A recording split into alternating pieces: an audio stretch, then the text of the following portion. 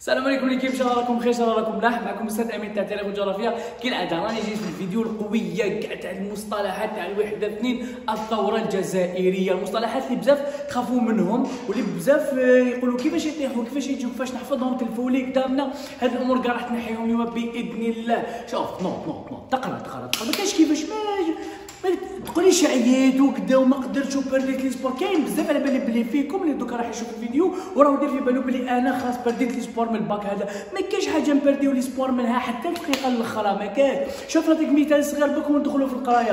الطبيب الطبيب كيجيبوا له واحد خلاص فقد الأمل فيه واش يقول لهم اراه نسيو نسيو. بالك نقدروا نصوفيوه بالك يعيش. راك شايف؟ ما يقولش أنا خلاص أنا ندوه الدار سيبو خلوه يموت. لا لا يسيي بعد إلى كتب ربي. خلاص ولا ما كتبش ربي يموت. هكذاك حنايا ما نحبش. دقيقة الاخرى كل ما نجي نقول بلي تعبت وخلاص وراح نحبس وخلاص ما نجيبش الباق ما آه نجيب الباق نجيب نجيب نجيب الباق نخدم نخدم نخدم. ما كاينش كيفاش نحبس كاع. ما نحبش. même même الفايدة نلقاها العام الجاي إن شاء الله. راك معايا. même si disons هذا العام جبت الباق ب 10 العام الجاي إن شاء الله عاودوا تجيبوا أكثر راك شايف واحد تلقى la base هذه وتلقاها في حياتك وكاع وما كاينش حاجة حتندم عليها. même كان تقرا الدقيقة الأخرى ما عادش تندم. هكذا يا جماعة. باش ما نطولش عليكم باش ما نهضرش بزاف راح نبدأ راح ننبه هكا الحاجة. أنه مصطلحات الثورة الجزائرية ماشي كيما مصطلحات الحرب الباردة. علاش؟ تعتمد الثورة الجزائرية من ذاك بزاف على السند. واش معنى على السند؟ معناتها من ذاك يقدروا يطيحوا لك مصطلحات ما كاش في كتابات وما كاش في الدروس وما كاش يعني هنايا المصطلح يجيبوه من السند. يعني راح تشرحوا من السند. أنا نوصيك حاجة بزاف نوصيها ونعاودها ونعاودها ونعاودها وكي نحل les sujets راح نركز عليها إن شاء الله. راح نقول لك باللي المصطلحات تاع الثورة اقرا مليح السند وعاود. باش تقدر هادو ما يكونوش في البار اللي راهم هنايا. مانيش نقول لك هكذا معناتها ما تحفظهمش ولكن تقدر تعتمد الثورة على السند أكثر من على الكتابات الخارجية وعلى الملخصات هكذا يا جماعة صح منظمين عندي من المصطلحات اللي تخص شكون؟ اللي تخص الجزائر. وعندي من المصطلحات الفرنسية. هذه الجهة فيها المصطلحات الفرنسية. اللي تخص فرنسا. شوف مصطلحات اللي تخص الجزائر واش داروا الجزائريين؟ أول حاجة قام بها الجزائريين هي الأحزاب الوطنية. كي عرفنا باللي فرنسا ما راهيش رايحة تخرج من الجزائر قلنا باللي لازم نديروا أحزاب وطنية باش نتكلفوا نتكفلوا بالقضية الجزائرية. مو رانا رايحين 1830 دخلت فرنسا الجزائر ما باش وقتاش تخرج لازم نخرجوها. كيفاش نخرجوها؟ اولا الأحزاب الوطنية. هذا المصطلح الأول. الأحزاب الوطنية يقولوا هي مجموعة من التنظيمات الشعبية ذات الطابع السياسي. شوف كي بداو الجزائريين يناضلوا بداو بداو بطريقة سياسية. مع شكون اللي بدا يناضل؟ الشعب. فنقولوا هي مجموعة من التنظيمات السياسية.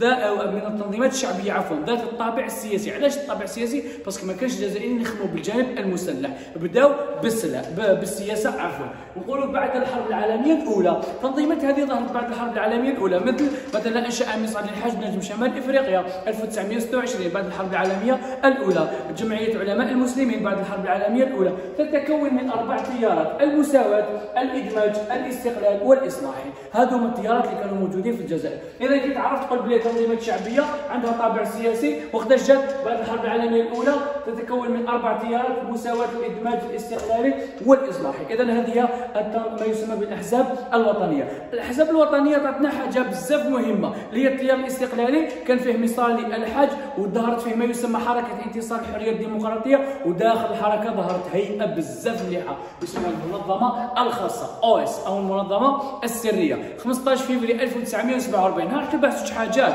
تربح مصطلح وتاريخ عرفت دوك راح تعرف واش معناتها المنظمة الخاصة ومام راح تعرف بلي التاريخ تاعها هو 15 فبراير 1947 واش نقولوا؟ هي المنظمة السرية التي تأسست في 15 فبراير 1947 شكون كان القائد ديالها؟ محمد بلوزداد كلفت بالتحضير للثورة الجزائرية. المنظمة الخاصة هما اللي بداو ينشروا السلاح بداو يبريباري وبداو يديروا كل حاجة بس تأكدوا من عقم النضال السياسي. إن السياسة ما تجيب والو ما أخذ بالقوة لا يسترجع إلا بالقوة. مفهوم؟ المنظمة الخاصة وقتاش جات؟ 15 فبراير 47 شكون الرئيس ديالها الأول؟ محمد بلوزداد واش دير؟ التحضير للثورة الجزائرية. زين. الثورة التحريرية. المنظمه الخاصه حضرت الثورة متى جات الثورة. شو نقولوا على الثورة؟ هي رد فعل شعبي مسلح. الشعب حب يدير ثوره فهم معناتها هي رد فعل شعبي. باش يدير ثوره هكذا بالهضره لا لا بالسلاح. هي رد فعل شعبي مسلح. عن طريق مجموعة من العمليات العسكرية بهدف تحقيق الاستقلال. حنا نديروا العمليات العسكرية بالسلاح باينة ورانا حابين نوصلوا للاستقلال. إذا الثوره رد فعل شعبي مسلح. عمليات عسكرية الهدف تحقيق الاستقلال. زين التيار الثوري شكون دار هذه الثوره التيار الثوري شتي كيفاش يمشيو وحدة لاصقه في وحدة. هذه الثوره دار التيار الثوري هي مجموعة من الشباب المتحمس المؤمن بضرورة العمل المسلح والثورة. نقولهم أعضاء المنظمة الخاصة. أعضاء المنظمة الخاصة واش قالوا المثال الحاج؟ العمل السياسي ما يجيبش نتيجة. حنا رانا جون رانا صغار شغل راهم متحمسين. راكم شايفين؟ راهم حابين كيما أنتم راكم متحمسين تجيب البال راهم حابين يديروا ثورة باش يتخلصوا من الاستعمار الفرنسي. وشكون هذو اللي كانوا متحمسين؟ هما الناس اللي كانوا في المنظمة الخاصة. أتفكر بلي قلنا على المنظمة الخاصة كلفت بالتحضير للثوره فنقولوا مجموعة من الشباب المتحمس. المؤمن دار في راسه بلي الثوره هي تجيب الاستقلال المؤمن بضرورة العمل المسلح. نعاودها ما أخذ بالقوة لا يسترجع إلا بالقوة. وأهمهم أعضاء المنظمة الخاصة. هادو الناس كاع باش بداو يبريباريو للثوره واش داروا لنا جماعة؟ داروا لنا لجنة ثورية للوحدة والعمل. 23 مارس 1954 قولوا الهيئه التي تأسست 23 مارس 54 بعد انقسام حركه انتصار الحريات الديمقراطية. ضمت التيار المحايد والمركزيين بدأت في التحضير للثورة. 1953 صار في الجزائر. للأسف أزمة كبيرة في أص... في حركة انتصار الحريات الديمقراطية وانقسمت إلى ثلاث تيارات مثاليين اللي تبعوا مصالح الحاج المركزيين اللي تبعوا بن يوسف بن خده والمحايدين ما تبعوا لا هذا لا هذا. 54 وسره توحدوا شكون المركزيين والمحايدين. المحايدين باش نفكركم هما أعضاء المنظمه الخاصة. توحدوا كي توحدوا واش عطاوني؟ عطاوني حاجة تسمى اللجنة الثوريه للوحدة والعمل. التاريخ ديالها وقتاش؟ 23 مارس 54 علاش اندارت باش تحضر للثوره الجزائرية؟ فوق صراحة. هنايا هادو كاع علاش درناهم؟ شوف. هادو. كاع علاش ندارو؟ ندارو باش تجي هذه تصفية الاستعمار. شوف تصفية الاستعمار شنو نقولوا؟ يقصد بها الجهود والتضحيات التي قامت بها الشعوب المستعمرة. أثناء نضالها ضد القوى الاستعمارية بهدف استرجاع السيادة وتحقيق الاستقلال. حنا هاد الحاجات كاع درناهم باش نصفيو فرنسا مزيان ما تبقاش. فنقولوا هي الجهود اللي بذلناها ولا اللي بذلتها كل الشعوب. المصريين مثلا الفيتناميين الهنديين هادو كاع اللي كانوا عندهم استعمار في بلادهم. بذلوا جهود على عدة مستويات. علاش بذلنا هذه الجهود؟ بذلناهم لتحقيق الاستقلال. ضد شكون كانت هذه الجهود؟ ضد القوى الاستعمارية اللي هي فرنسا وبريطانيا. مفهوم؟ صح. المواثيق. من خلال تصفية الاستعمار كنا نديروا مواثيق. مجموعة من القرارات المتفق عليها تأخذ صفة المبادئ العامة والأسس. مواثيق كانوا الجزائريين يخرجوا أوراق. ميثاق يتفاهموا على حاجة يكتبوها يتفاهموا على نقطة يسجلوها يديروا اجتماع ياخذ قرارات ديالو. فهذو كامل نسميهم بالمواثيق. واش نقولوا عليهم مجموعة من القرارات المتفق عليها؟ أهم ميثاق بيان اول نوفمبر. ميثاق الصومال ميثاق طرابلس. هذو كاع تقدر تمدهم أمثلة هنايا. معايا كيف صح الدبلوماسية. لو كان كملنا المستوى الداخلي كون نروحوا للمستوى الخارجي واش نلقاو نقولوا بلي الجهود مبذولة على المستوى الخارجي من أجل تعريب القضية الجزائرية وكسب الاعتراف الدولي. الجزائريين اسسوا الوفد الخارجي. كي كتبت معايا في الفيديو القدم شفتوا بلي كاين وفد خارجي يتكون من حسين أيت أحمد أحمد بن بلة ومحمد خيضر. هذو كانوا يديروا عمل خارج الجزائر نسميوه بالعمل الدبلوماسي. ما هو العمل الدبلوماسي؟ هو إيصال القضية الجزائريه إلى المحافل الدولية وكسب الاعتراف الدولي. معناتها دول العالم يقولوا يعترفوا بنا دوليا. مفهوم؟ وأخيرا الهجومات الشمال القسنطيني نقولوا هي الهجومات التي قادها زيغود يوسف في 20 أوت. 1955 في منطقة الشمال القسنطيني. ضد مراكز عسكرية فرنسية. نعاود هي هجومات. بسلاح قادها شكون زيغود يوسف واش بالعام؟ 55 ضد شكون؟ مراكز عسكرية فرنسية. وين؟ شمال القسنطيني تسمى حاجة بحاجه يا سلسلة انت برك ربطوا جاو في الباق وجيب لنا الباق هكذا اللي كيف تاع الجزائر هامليك أغلبهم اغلبهم أغلبهم لأنه ما نقدرش نتنبؤوا بكل حاجة راح تكون في الباق إذا أغلب المصطلحات عفوا راهي في الباق هاي لك هنايا تاع الثورة الجزائرية. اللي دارتهم فرنسا هامليك شوف فرنسا واش دارت؟ سياسة الإغراء ومن بعد هذو السياسات يخرجوا منها. اولا ما معنى سياسة الإغراء؟ تمثلت في المشاريع الاقتصادية التي قدمتها فرنسا من أجل عزل الشعب الجزائري عن الثورة. هي مجموعة من المشاريع. دارتها فرنسا. علاش دارتها فرنسا؟ باش تعزل الشعب عن الثورة. الإغراء. شوف كي تحب تكسب واحد من ذاك هكذايا ولا تحب تبعدو على حاجة دير له إغراء. نعطيك صغير نعطيك حاجة صغيرة مثلا. شوف يقولوا مثلا واحد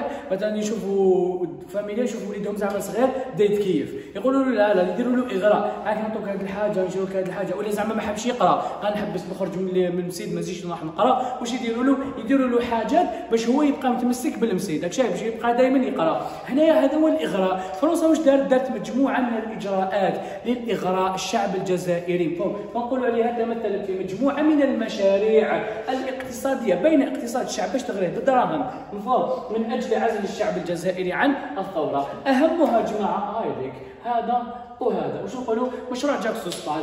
نسبة لصاحبه سوستال. وش نوع مشروع جاك سوستال؟ قام به الوالي العام سوستال. مجموعة من الإصلاحات السياسية. والاقتصادية هدفها إبعاد الشعب عن الثورة. دائما راح الهدف اللي كان هنا. هنا وش قلنا؟ عزل الشعب عن الثورة. قلنا نفس الهدف. مشروع جاك سوستال جاب الإغراء باش يغري الجزائريين. قدم سوستال مساعدات مالية للجزائريين مساكن للجزائريين أراضي للجزائريين. علاش يحبهم؟ لا لا باش يدير لهم الإبعاد عن الثورة الجزائرية. جا صاحبه شكون الرئيس الفرنسي شارل ديغول واش دار لنا مشروع قسنطينة. نقولوا عليه مشروع إغرائي. أعلن عنه ديغول الرئيس الفرنسي مش من العام 58 من أجل تحسين المستوى المعيشي للشعب الجزائري. هنا بالك تامن ماشي صح. هذا نسميه هدف ظاهري من أجل تحسين المستوى المعيشي للشعب. حب يبين ديغول باللي الجزائريين راح نسقم لكم المستوى المعيشي ديالكم. نقولوا هدفه الحقيقي القضاء على الثورة. ديغول ما كانش نيته يسقم المستوى كان نيته يقضي على الثورة الجزائرية. القوة الثالثة خرجت منا. شوف كي دار ديغول هذا عطانا هذا. ديغول واش دار؟ حكم الجزائريين القاريين الأطباء المهندسين المحامين إلى غير ذلك عطى لهم دراهم. فنقولوا عليهم واحد كي يعطيكم عنده دراهم نقولوا عليه طبقة برجوازية يعني مرفه. فوق سيدي؟ بورجوا هكذا وخير القاريين معناتها خير البرجوازيين القاريين واش نسميهم البرجوازيين القاريين اللي كانوا يخدموا مع فرنسا نسميهم بالقوة الثالثة. نقولوا هي طبقة برجوازية مثقفة من العملاء. اسمحوا لي صوتي راح.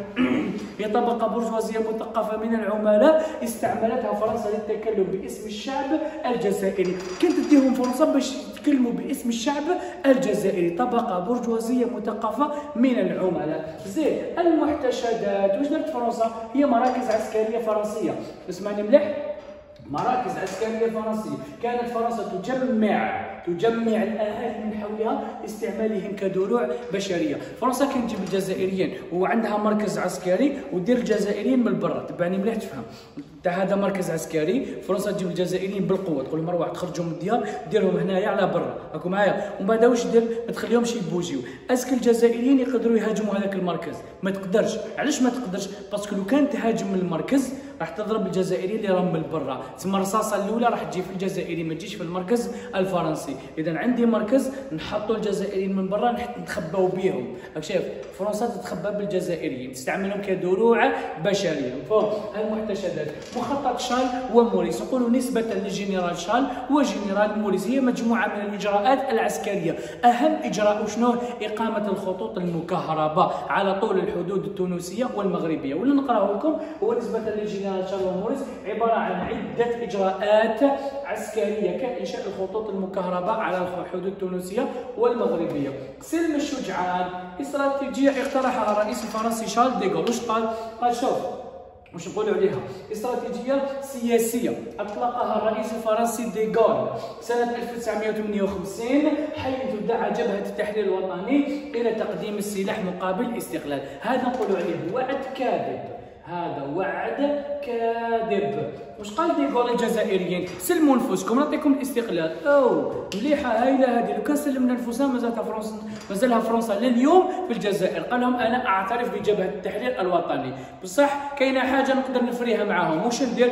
يعطوني سلاح نعطي لهم الاستقلال. نعطوا له سلاح تخلص الثورة. فنسميوه بسلم الشجعان. المصالح الإدارية المختصة لصص واش نقولوا هي مكاتب أنشأتها فرنسا في الجزائر للقيام بالحرب النفسية.